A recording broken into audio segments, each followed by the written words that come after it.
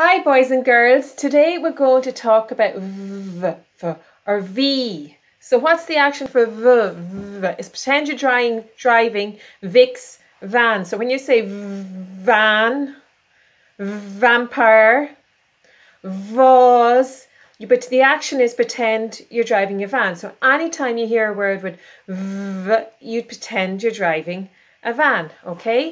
So, when you're writing the v sound, okay? Think of a vampire's tooth. It's really sharp and pointy.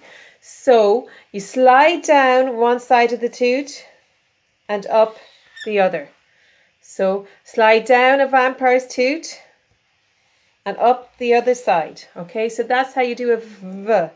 You slide down the vampire's tooth and up the other side. And it sits on the line. So you would start in the middle of the line you would slide down the vampire's tooth and up the other side.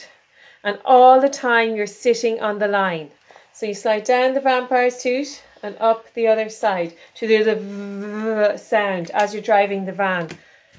Well, you wouldn't, obviously, as your parents know, you wouldn't be writing as you're driving. But so if you're doing it on your lined copy, see the way I have blue lines like your copy? So you start, we're doing lowercase v. So you start in the middle of the line, okay?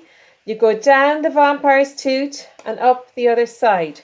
See the way it's nice and pointy? Both sides are the same height and they sit on the line. So I'm going to do a finger space and I'm going to do another v. Down the vampire's tooth and up the other side. Let's go again. Finger space. Down the vampire's tooth and up the other side. Okay? So let's write van van, okay? So I'm going to skip a line. I'm just writing a word. I'm not writing a sentence, so I don't put a capital letter. Start in the middle of the line, go down the vampire's toot, up the other side. My a is the same word, so my a starts right beside it.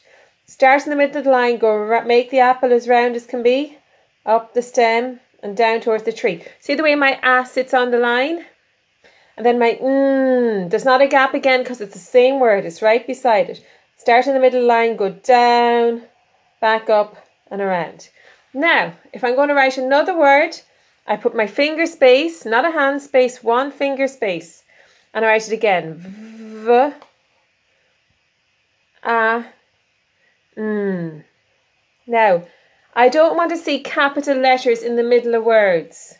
And I don't want to see capital letters in the middle of sentences unless it's a special name like Tom, someone's name, or like the month December, or a place like New Ross, or a C. So that's when you do capital letters. You don't do capital letters just for van or something like that.